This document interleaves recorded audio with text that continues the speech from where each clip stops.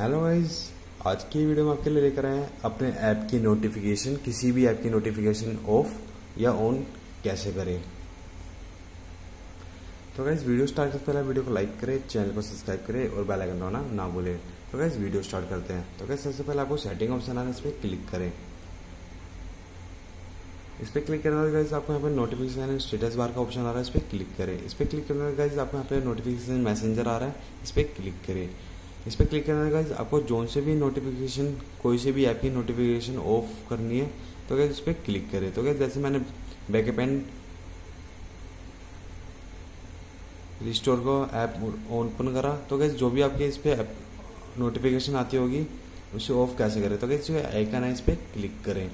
तो क्लिक करने के बाद आपकी नोटिफिकेशन ऑफ़ हो गई आपकी तो इस वीडियो अच्छी लगी तो वीडियो को लाइक करें, चैनल को सब्सक्राइब करें और बेल आइकन दबाना ना भूलें। थैंक्स फॉर वॉचिंग वीडियो मिलते हैं नेक्स्ट वीडियो में।